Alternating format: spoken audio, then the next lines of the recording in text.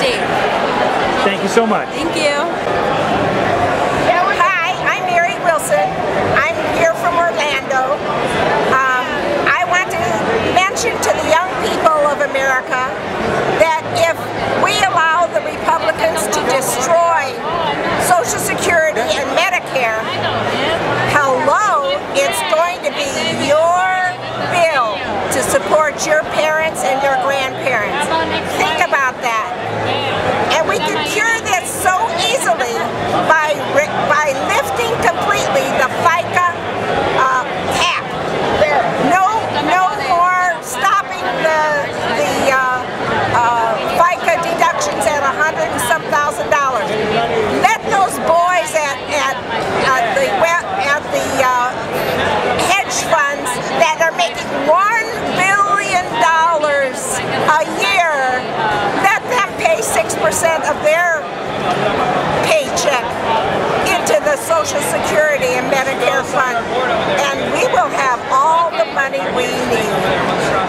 so very much.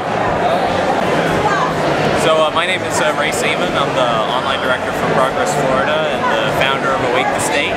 Uh, I'm here at the festival today because this is a great opportunity for working families and people who make Florida work actually come together and find a way to organize and fight back against the extremely anti-middle class agenda that Governor Scott and his allies in the legislature are perpetuating on the people of Florida.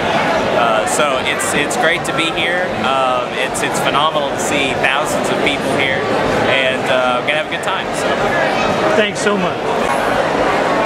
My name is Anna Biascavani and I'm here because small movements make a big change. Thank you so much. No problem. Name is Patty Campbell, and I'm here today representing the Union Plus Mortgage Program, which is part of Union Privilege. Union Privilege is the benefit arm of the AFL-CIO.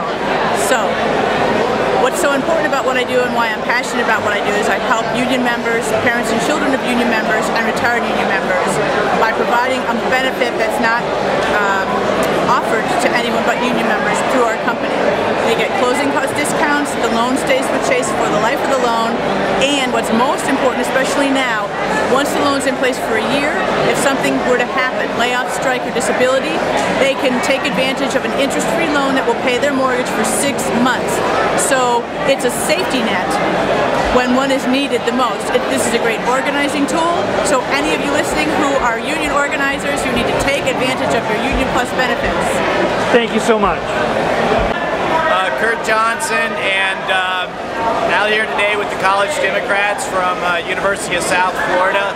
Um, came out because we've got to get mo moving now. Now is the time. Uh, with the voter suppression laws and whatnot, we've just they've declared war on us, and I'm not I'm not going to take that sitting down. So we're out here to stand up with our workers and our other Floridians and uh, make sure that we get the state that we deserve. Kenya Jenkins, and I'm here because I think it's really important that people um, are aware of what's going on in our state right now. There's a lot of uh, movements that are happening that are, are attacking the working and middle, uh, middle class, working class, and the poor class.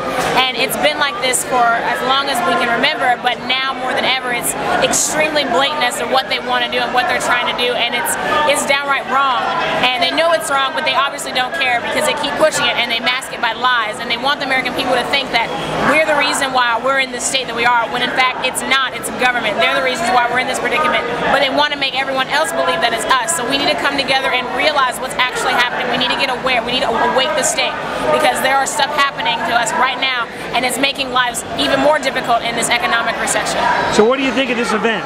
I think this event is really cool. I'm like really excited to be here. I heard about it through a local union, um, and uh, they were like, "You should totally come down." And I was like, "Okay." And I'm really glad I made it out here. You know, uh, it's good to be around uh, like-minded people who are also aware of what's going on and are make, taking steps and actions to to get us back on track. So it's really fun. Thank you so much. Thank you.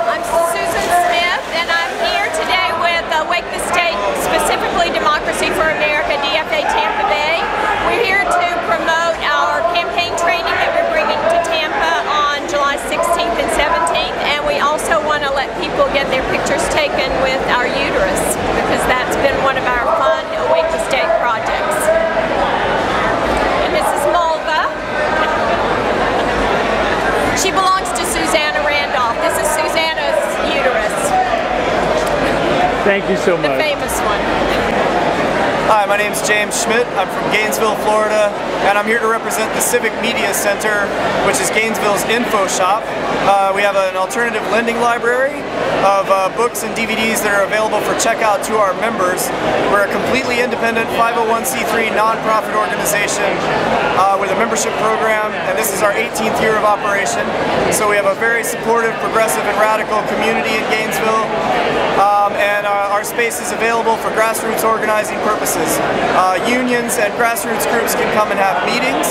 They can hold public events such as press conferences, workshops, talks, lectures, etc. Uh, people come to our space to make signs for protests and rallies. We hold, uh, uh, excuse me, uh, boy, I'm losing my brain. And how do they get in touch with you, brother? Uh, you can look us up online, civicmediacenter.org, all one word, and uh, give us a call, 352-373-0010. Thank you so much. All right, man. Hi, my name is Ryan Clark, and I'm the president of the Jacksonville Young Democrats, and right now I'm running for president of the Florida Young Democrats. And I'm down here in Orlando today, down here in Orange County, at the Festival for Florida's Future, and it's so great to see so many progressive activists from all over the state come together today, and show shows unity, strength, and support. I have, uh, I'm a Democrat that comes from a working family. I was born a Democrat, I was raised a Democrat, and uh, you know, coming from North Florida, it's not always uh, it's not always positive. You're going to meet so many Democrats, so it's always great when I come to meet folks from around the state that share our ideas and share our values, and talk about how we can take those ideas and take those values and export them all over the state. Export them, take them to the governor's office, take them to the state cabinet offices, run better campaigns, run better candidates, so we can change the way our state is governed. It's a great day. It's a great thing to be a part of. I'm happy to be here. I'm happy so many folks are here, and I'm just uh, I'm just thrilled to be here. My name is Rick Newhoff. I'm running for Palm Beach County Commission District 5, Southwest County, uh, Southwest Palm Beach County. I'm here today to stand with my union brothers and sisters. My mother was United Federation of Teachers, so one of my first uh, bits of activism was uh, on, a, on a picket line with her. And I tell you that we have to strengthen the union brotherhood here in Florida. The, the union has been squashed here and we need to find a way to get more local jobs, more union jobs. I'm running for Palm Beach County Commission because of accountability, a sustainable infrastructure, and managed growth. I'm tired of Palm Beach County being corruption county. I want to see local jobs and union jobs putting solar panels on the governmental buildings. And I'm tired of environmental land and agriculture preserve land being built on. I'm all in favor of building and the jobs that come from that. But let's say a library, and I'm all in favor of libraries, is being built. I don't think that that should be on environmentally protected land.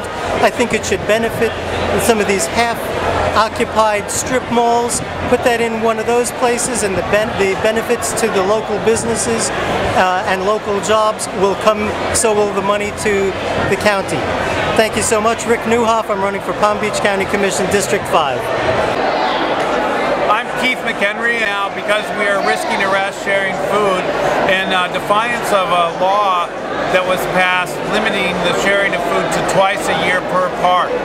And uh, this is kind of part of a whole nationwide program to try to eliminate groups like Food Not Bombs from organizing to change society by showing that money should be diverted from military spending towards things that really need to, that would provide real security, like uh, food, shelter, education, health care, things like that. And in the wealthiest country on earth, where 50 cents of every federal tax dollar is spent on the military, there's no reason anyone should have to stand in a soup line to get food, or anybody should have to like seek shelter at, at, at a homeless uh, camp or something. Everyone should have housing, everyone should have food, everyone should have health care, and that's why we're out in the street risking arrest, sharing food at Lake Eola uh, twice a week in uh, Orlando. Thank you so very much. Thank you. Hi, I'm Gloria Thomas from Davie, Florida. Um, right now I'm helping with uh, trying to, to get the news out to our people to let them know in the neighborhood some of the things that's going on in Tallahassee that we need to know about. So we're here today working and playing with the kids can play while we work, trying to get news out, letting everybody know what is going on. I don't know uh, with our churches, we have some churches here, we have community people here, but we need to get out in, into the community and let them know that we're not going to stand for what they're doing in Tallahassee now. Governor Scott, you need to be out of office because you're not for the people. Right now, with no jobs and you're turning all the stuff down, vetoing it, it's not going to work. So that's why we're here today. Thank you so much. You're welcome.